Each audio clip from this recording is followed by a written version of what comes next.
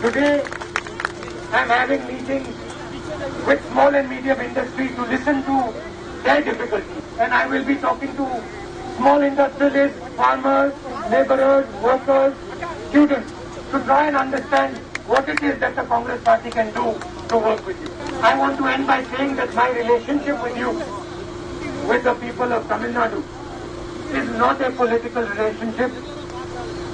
It is a family relationship. A relationship of blood.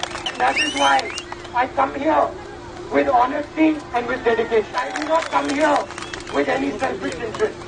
I come here as someone who wants to work with you and help you because I love you and I'm proud of you. That is, and this is the commitment that I do to you, that you will always have a relationship with me that is honest and that is straightforward. Wonderful welcome in Tamil Nadu. தமிழகத்திலே எனக்கு கொடுக்கப்பட்டிருக்கிற இந்த சிறப்பான வரவேற்பிற்கு நான் நன்றி சொல்ல கடமைப்பட்டிருக்கிறேன் It is always an honor and a pleasure for me to come to this wonderful. எப்பொழுதுமே தமிழகம் வருவதற்கு இந்த மகத்தான தமிழகத்திற்கு வருவதற்கு எனக்கு எப்பொழுதுமே மகிழ்ச்சி உண்டு Currently, in India, we are involved in a fight with a particular ideology. தற்பொழுது இந்தியாவில் ஒரு குறிப்பிட்ட தத்துவத்தை கொண்டு வருவதற்காக நாம் போராடிக் கொண்டிருக்கிறோம் An ideology that believes that only one culture, one language, one idea should rule India.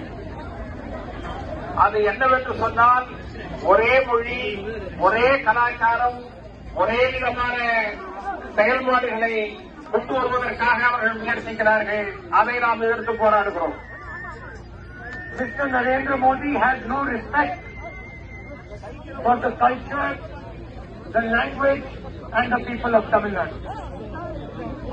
நரே- Narendra Modi பிரதமராக இருக்கிற Narendra Modi Narendra Modi And I have committed to you that I will come to Tamil Nadu, I will listen to the people of Tamil Nadu, and I will work with the people of Tamil Nadu to help you get a government that you deserve.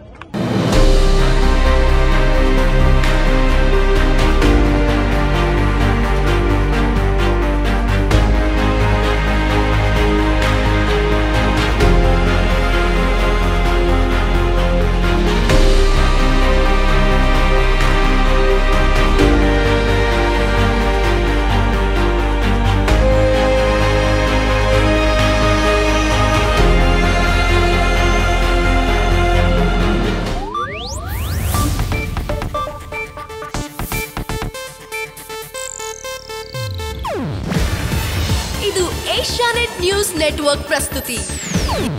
ನೀವು ನೋಡ್ತಿದ್ದೀರಾ Asianet ಸುವರ್ಣ news.